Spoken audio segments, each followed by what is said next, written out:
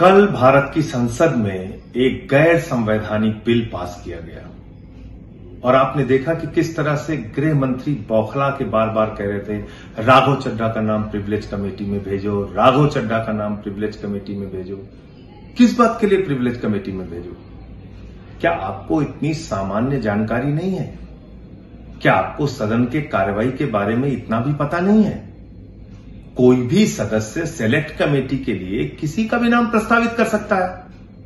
और select committee में नाम प्रस्तावित करने के लिए किसी के साइन की ज़रूरत नहीं होती, किसी के सिग्नेचर की ज़रूरत नहीं होती। झूठ और अफवाह मत फैलाइए। आपकी पार्टी का काम है झूठ फैलाना, लेकिन हर बात में झूठ फैलाते हैं आप लोग।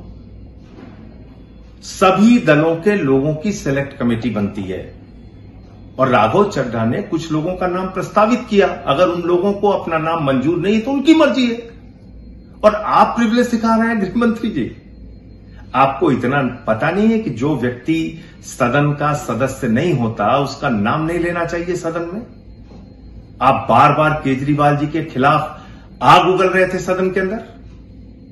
तो इसलिए कम से कम आप लोग प्रिविलेज मत सिखाइए, और अगर आपकी मर्ज़ी है कि पूरे विपक्ष को खत्म करना है। सिर्फ़ आप और मोदी जी देश को चलाना चाहते हैं। तो खत्म कर दीजिए विपक्ष, किसी को प्रिविलेज कमेटी में भेज के, किसी का, किसी को निलंबित करके, किसी की सदस्यता रद्द करके। खत्म कर दीजिए विपक्ष की आवाज़ को और आप और मोदी जी और कुछ राज्यपाल मिलकर देश को चलाइए।